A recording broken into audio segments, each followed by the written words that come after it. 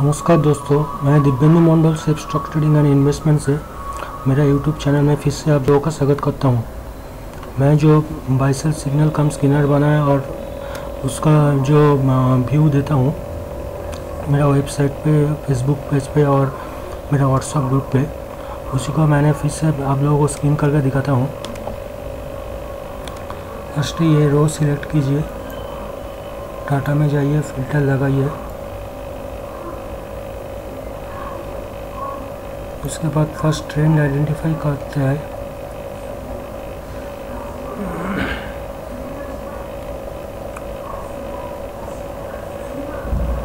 First इधर देख लेते हैं ये ट्रेंड कैसा है सेल साइड में।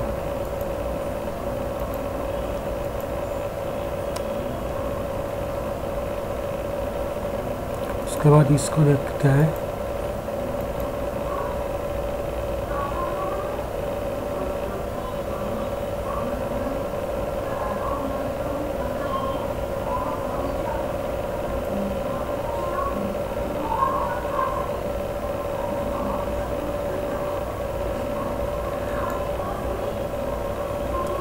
सेट का स्ट्रेंथ कुछ कम आ गया।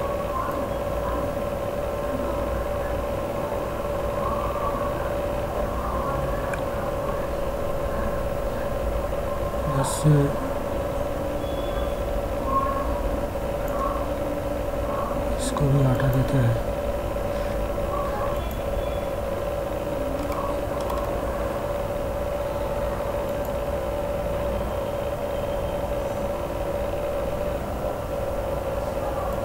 ये दोनों का ट्रेंड नीचे तो है। देख सकते हैं इधर ये पिवट पॉइंट और एस के बीच में है इंटरडे पे। और स्विंग ट्रेडिंग में भी है। मतलब फाइव डेज़ का हिसाब से भी पिवट पॉइंट और एस के बीच में है। ये पिवट पॉइंट एस वन और एस वन और एस टू के बीच में है फिफ्टीन डेज़ का हिसाब से। और थर्टी डेज़ का हिसाब से भी सेम कंडीशन है।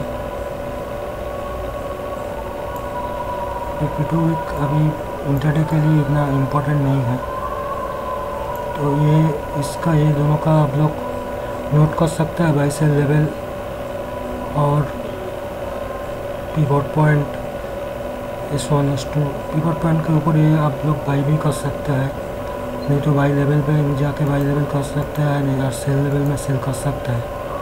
इसका एल है बारह सौ चौरासी और सेल लेवल है बारह सौ पचहत्तर। वर्ड पॉइंट बारह सौ चौवानवे तो सेल लेवल में जाके सेल करना ठीक रहेगा। और इसको बाई ऊपर जाएगा तो बाई लेवल में बाई करना। और सेम सेम चीज़ इधर भी। ये एल इधर आया है। इसको बाय सेल लेवल के ऊपर। सेल लेवल के नीचे जाएगा तो कर सकता है और नहीं तो पिवट पॉइंट को बाई कर सकता है, नहीं तो इधर भी बाई कर सकता है।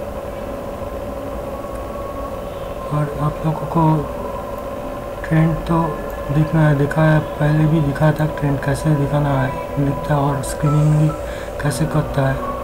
अभी तो ये टाइम हो गया, शायद ज़्यादा नहीं दिखा पाऊँगा। ये दोनों आप लोग नोट कर लीजिए।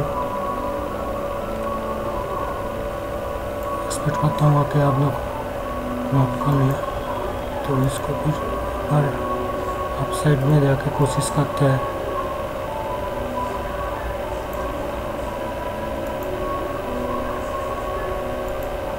आप लोग इधर स्टॉक को नोट देखते रहिए।